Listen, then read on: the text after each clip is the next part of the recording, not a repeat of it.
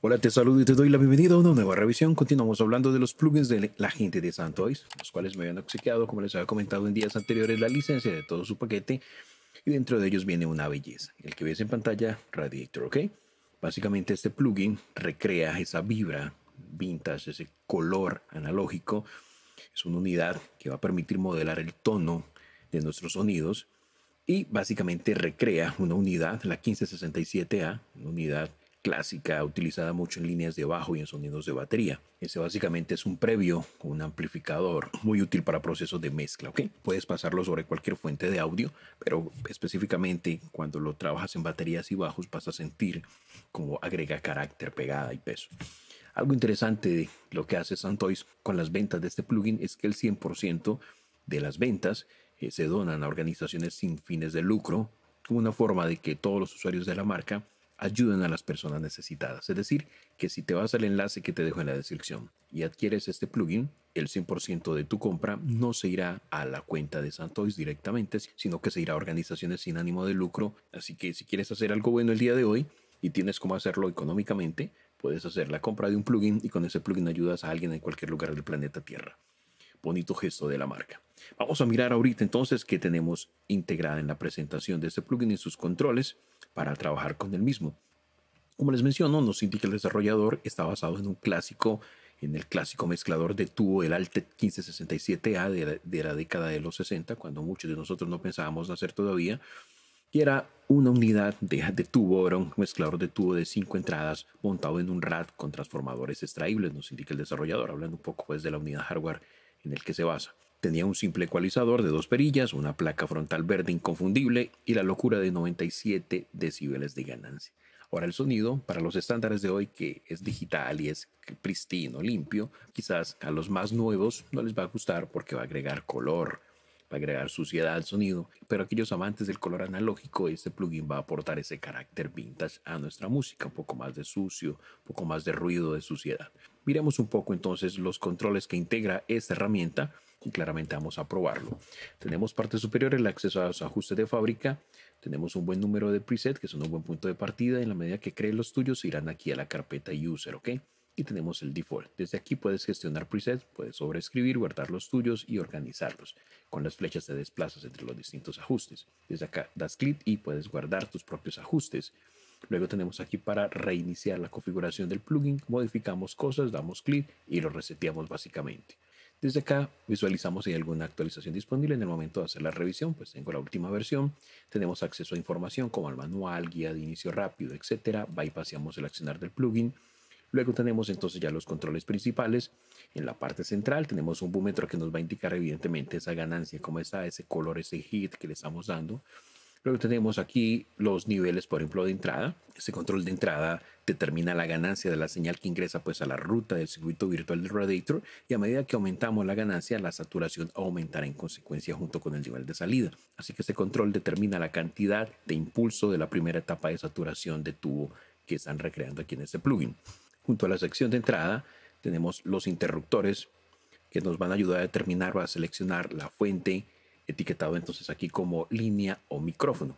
La versión original, el Altec 1567A, tiene una respuesta muy dependiente de la impedancia con respecto a la entrada, que lo que hice Sontoy fue incluirle en este plugin. Entonces lo que hicieron fue que estos modos de micrófono y línea lo que hacen es representar las diferencias en el comportamiento que observaron con una impedancia de 150 ohmios en el, en el caso del micrófono y frente a los 600 ohmios de línea. Entonces experimenta porque cada uno te va a dar un color y un matiz distinto en tu sonido.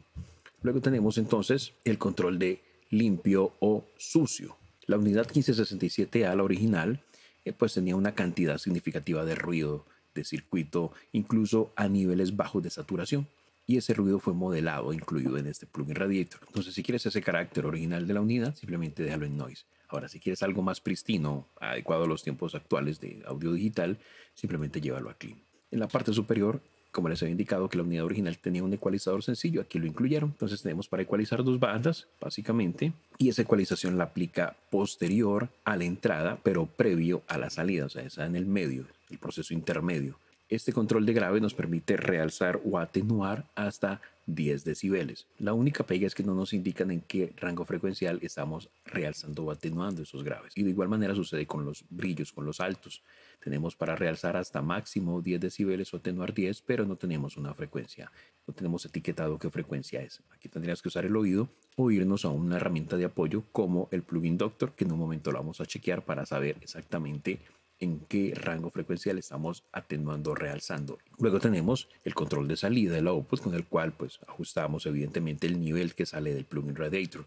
Ese control es útil no solo para ajustar el nivel de señal en la mezcla, sino para compensar cualquier aumento en el nivel. En la medida que subes el input, puedes entonces ir compensando niveles para no dejarte guiar solamente por el incremento de volumen en la señal. Y el control de mezcla, evidentemente, va a darte esa posibilidad de jugar con lo mejor de la señal seca versus la señal procesada, es decir, procesamiento paralelo.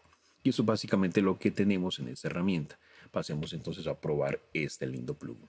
Como su desarrollador nos habla, era muy utilizado en sonidos de bajo y batería, voy a pasarlo entonces por esas dos fuentes para tenerlo como referencia. Ya lo ideal es que tú lo pruebes si te gusta y si te gusta lo que obtienes puedes irte por una copia de este plugin. Entonces yo te voy a dejar el enlace en la descripción. Voy a hacer ajustes aleatorios, luego probamos preset y vamos entonces con esa parte.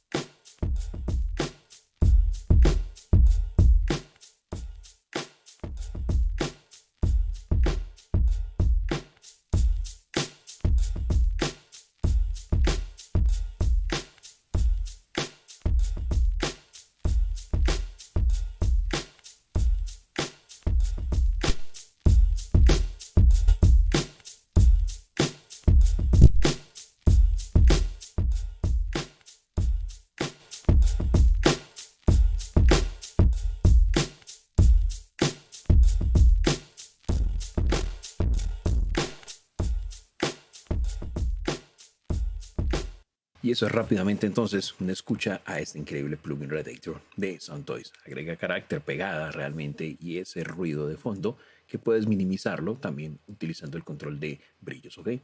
No lo minimizas, aunque no lo vas a eliminar 100%. Solo que hace es tamizar un poco ese ruido de fondo, aunque claramente estás perdiendo brillo en el audio.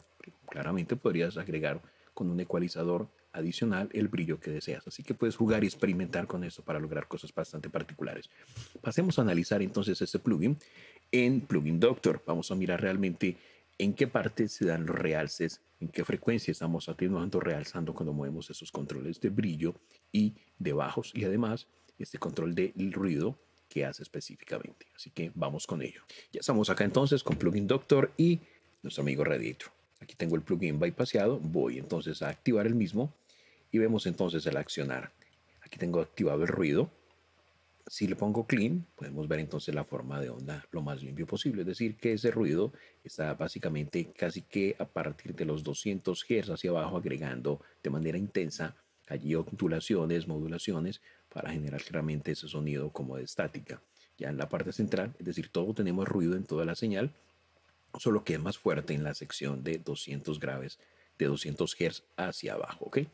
Estoy en línea, mover a micro y en micro vemos como hay un incremento entonces también de, ese, de este ruido en este caso con respecto a línea. Si quito el ruido, miramos entonces la forma de onda, es la línea como tal, donde tenemos ya por default un pequeño realce por aquí en, aquí en 12 Hz y luego tenemos una pequeña caída y se va a sostener a partir de casi los 100 Hz, llegando casi a los 7000 y luego tenemos un realce, un pico en los 16000 aproximadamente. Así que ya por default nos está dando este color.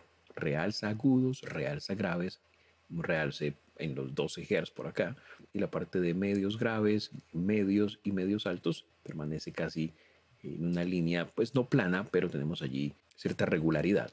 Si me voy al mic, entonces ya en el mic tenemos otro carácter sónico.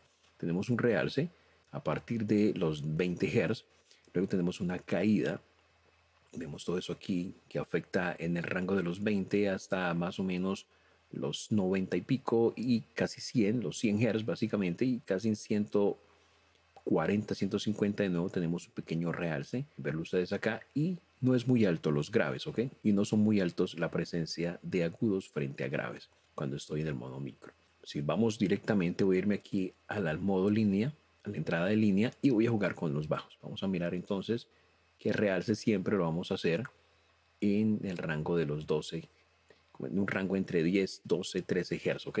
Y estamos haciendo la atenuación, aunque cuando cortamos los graves, vemos que la caída ya está por encima eh, de los 200 Hz. Si lo llevo a un realce, estamos realzando a partir de casi 500 de los 1000 Hz. Por aquí ya empezaría el realce, básicamente.